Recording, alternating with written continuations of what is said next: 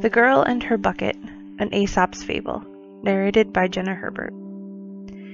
A young girl was going to market with a bucket of milk on her head. With the gold that I get from the sale of this milk, I'll buy a red hen, she said. The hen will lay eggs. They'll hatch, and then I'll have many chicks to raise. I'll feed them well, and when they're grown, they will each lay eggs, and those eggs will hatch, and I will have more hens who will lay more eggs that will hatch into chicks. Before long I'll be rich, and I'll wear fine clothes with emeralds and rubies from my collar to my toes. And one day, perhaps I shall visit the Queen. I shall bring her rare gifts from China.